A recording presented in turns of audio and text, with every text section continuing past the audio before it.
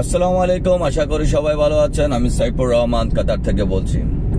বন্ধুরা আমার, আপনারা যারা টেস্ট দেওয়ার সময় হাইওয়েতে উঠবেন অথবা মিডিয়াম রোডে উঠবেন, আপনাদের জন্য এই ভিডিও আপনারা যারা পুলিশের সাথে টেস্ট দিচ্ছেন মিডিয়াম রোডে অথবা আপনার বিগ হাইওয়ে গুলাতে অথবা আপনারা সিঙ্গেল রোড গুলাতে বেশিরভাগই টেস্ট হয়ে থাকে এই ধরনের যে মিডিয়াম রোডগুলো আছে, ওগুলাতে বেশিরভাগ নেওয়া হয়। কিন্তু খুব কমই ওঠা হয় হাইওয়েতে আপনার এই ধরনের মিডিয়াম রোড এবং সিঙ্গেল রোডে বেশিরভাগ টেস্ট নেওয়া হয়। তো আমরা আজকে জেনে নেব যে এই ধরনের মিডিয়াম রোডগুলো যেগুলো আছে, ওগুলাতে আপনারা কীভাবে টেস্ট দিলে আপনারা পাস করবেন। মনে রাখবেন সব সময় কিন্তু আপনারা খেয়াল রাখতে হবে আপনার ট্রাফিক লর দিকে। ট্রাফিক ল গুলা যেমন আপনার মানতে হবে, তেমনি আপনার ড্রাইভিংও করতে হবে। এখন ধরুন আমি এই রাইট টার্নটি নিচ্ছি। রাইট টার্নে আসার আগে আমাকে অবশ্যই সিগনাল বাতি জ্বালাতে হবে, তার আগে আমাকে এই রাইট সাইডের গ্লাসটি দেখতে হবে। এখন আবার আমি কিন্তু, এই দেখুন আমি আবার লেফটে যাব। এই লেফটে যাওয়ার সময় আমাকে অবশ্যই লেফটে সিগনাল বাতি দিতে হবে এবং আমাকে লেফটের গ্লাসটি এই গ্লাসটি দেখতে হবে। এটা দেখে যদি খালি থাকে স্পেস থাকে, তারপর আমি যেতে পারব। যদি আমি না জোর করে আরেকজনের সামনে দিয়ে যাই, পুলিশ যদি দেখে, তাহলে কিন্তু আমাকে ফেল করে দেবে। এটা আপনাদেরকে লক্ষ্য রাখতে হবে। আমি যখন রাইট টার্ন করব এবং লেফট টার্ন করব, অথবা আমি লাইন চেঞ্জ করব। আবার যদি আমার রাস্তাটা খালি, আমি ভয় পেয়ে অথবা অনেক চিন্তা করতেছি যে যাব কিনা, এই ধরনের হলেও আপনাকে কিন্তু লাইসেন্স দেবে না। ঠিক আছে? আপনার রাস্তায় স্পেস আছে। অর্থাৎ আপনি যাওয়ার মতো জায়গা আছে, সময় আছে, কিন্তু আপনি যাচ্ছেন না, আপনি ভয় পাইছেন অথবা আপনি চিন্তা করতেছেন যে আমি যাব কিনা। তাহলেও কিন্তু আপনি যদি না যান, যাইতে পারতেছেন, আপনার জায়গা আছে, আপনি না যান, তারপরও আপনাকে ফেল করে দেবে যদি আপনি না যান। আপনাকে জায়গা থাকলে অবশ্যই যেতে হবে। এখন আমি রাইট যাব রাইট যাওয়ার জন্য আমাকে আবার সিগন্যাল বাতি জ্বালাতে হবে রাইটে এবং আমাকে গ্লাসটা দেখতে হবে। আমি রাইট যাওয়ার সময় আমার রাইটের গ্লাসটা দেখতে হবে। এখন আবার আমি লেফটে যাচ্ছি। এই লেফটে যাওয়ার সময় আবার আমাকে লাইনটা চেঞ্জ করতে হচ্ছে। আমাকে অবশ্যই সিগন্যাল বাতি এবং গ্লাস এবং আপনাকে ওই গাড়িটাকে দেখতে হবে যে গাড়িটা আপনার পিছন থেকে আসতেছে। ওটা কত দূরে কতটুকু জায়গা আছে। তারপর আপনি যখন স্টেট রোডে আসবেন স্টেট রোডে আপনি, আপনাকে করণীয় হবে আপনি হান্ড্রেড পার্সেন্ট আপনি স্টেট যেতে থাকবেন, কিন্তু আপনার রোড ক্যাপাসিটি দেখতে হবে। রোড ক্যাপাসিটি কত? যদি আপনার জায়গা থাকে রোড ক্যাপাসিটি ফুল ক্যাপাসিটি আপনাকে দিতে হবে। যদি জায়গা থাকে, এটা এইটি স্পিড আমি এখন বর্তমানে এইটি স্পিডে উঠে গেছি। এখন যদি আমার সামনে জায়গা খালি, আপনারা দেখতে পাচ্ছেন সামনে জায়গা খালি, আমি যদি এইটি স্পিডে না আসি ফুল ক্যাপাসিটি না আসি, তারপরেও আমাকে ফেল দিয়ে দেবে। যেহেতু আমার জায়গা আছে, আমি যাচ্ছি না, আমি নিশ্চয় ভয় পাচ্ছি, অথবা আমি ঠিকমতো গাড়ি চালাতে জানি না। এর জন্য আমাকে ফেল করে দেবে। তো আমি এখন এখানে রেড সিগন্যাল আছে। রেড সিগনালে আমি লেফটে যাব লেফটে লাইন ধরে আমাকে ওয়েট করতে হবে। লেফটে লাইন ধরার জন্য আপনাকে অবশ্যই সিগন্যাল বাতিটা জ্বালাতে হবে। সিগন্যাল বাতি না জ্বালালে কিন্তু আপনাকে কখনো লাইসেন্স দেবে না। সিগন্যাল বাতি খুব ইম্পর্টেন্ট আমি সব সময় বলি ড্রাইভিং এর জন্য আপনার ট্রাফিক লগুলি একটা ফ্যাক্টরির সমান। ফ্যাক্টরিতে যত যন্ত্র অংশ আছে, ঠিক তেমন ওই ট্রাফিক লতে এতগুলা আইন আছে। তো এটা আমাদেরকে ধীরে ধীরে শিখতে হবে। একদিনে সবকিছু শেখা সম্ভব না। এই জন্য আমাদেরকে খুব পরিশ্রম করতে হবে।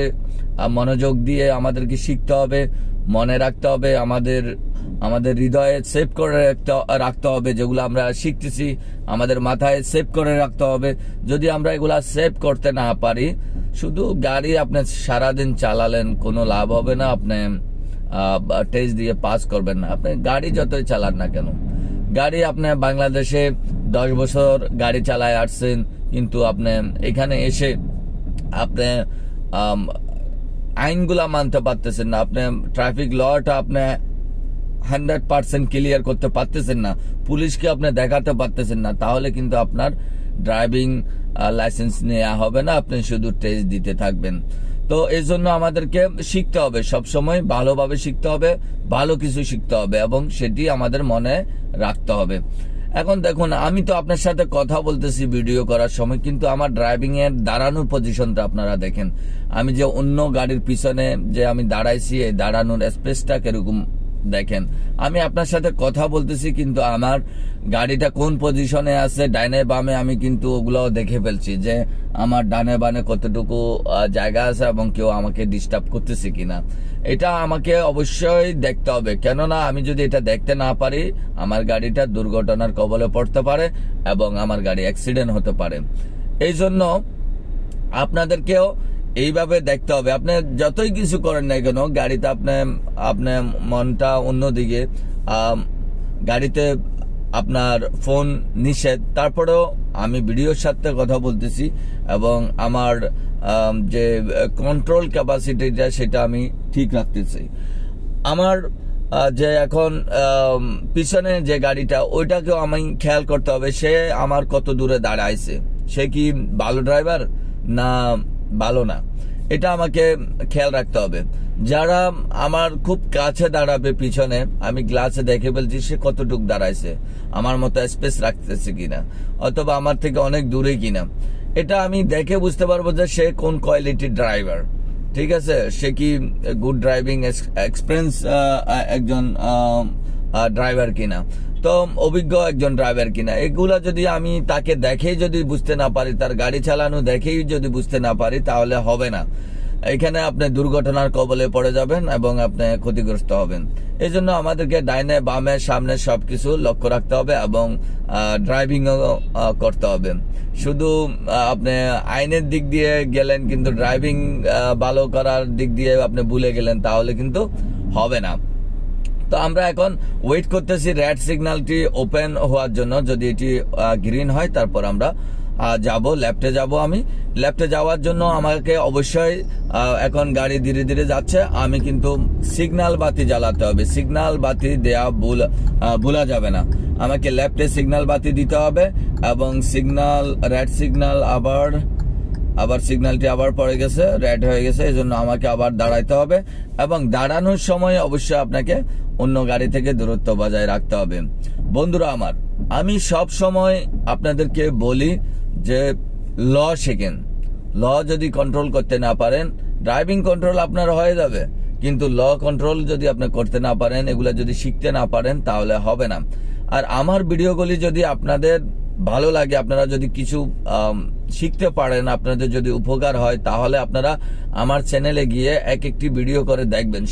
সবগুলাই আপনাদের কাজের ভিডিও আপনারা দেখলে এখানে আহ, প্রত্যেকটা ভিডিও আপনারা দেখলে আপনাদের অভিজ্ঞতা বাড়বে। অভিজ্ঞতা যখন আপনার বাড়বে ভিডিও দেখে দেখে, তখন আপ- আপনারা যেটা স্কুলে শিখতেছেন, স্কুলে আপনারা শিখ- শিখেন, ওইখানেও আপনারা মনোযোগ দেন। কিন্তু স্কুলের সমস্যাটা কি? স্কুলে আপনি ভর্তি হবেন, টাকা খরচ করবেন, কিন্তু আপনাকে হান্ড্রেড পার্সেন্ট যেগুলা বুঝানোর দরকার, যতটুকু আপনাকে বুঝানোর দরকার, এতটুকু বুঝায় না। তার চেয়ে আমরা বেশি বুঝাচ্ছি। আপনার, আমি আমি ভিডিও করতেছি। এই ভিডিওর মাধ্যমে আমি বেশি বলতেছি, কিন্তু এই ধরনের যদি আপনাকে বলে, স্কুলে যদি বলে আপনাকে ঠিক মতো যদি হান্ড্রেড পার্সেন্ট বলে যে আপনি এক মাসের ভিতরে আপনি লাইসেন্স পাবেন।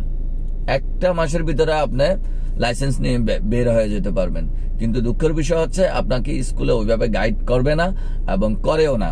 এজন্য আপনারা ভিডিও থেকে অনেক বেশি বেশি অভিজ্ঞতা অর্জন করতে পারেন। ভিডিওগুলি যদি আপনারা দেখেন, বেশি বেশি উপকার হবে। আর যদি আপনাদের উপকার হয়, তাহলে ভিডিওগুলি সাবস্ক্রাইব করবে, আমার চ্যানেলটি সাবস্ক্রাইব করবেন এবং ভিডিওগুলি শেয়ার করবেন আপনার বন্ধুদের জন্য। আল্লাহ হাফেজ, আবার দেখা হবে অন্য কোনো ভিডিওতে।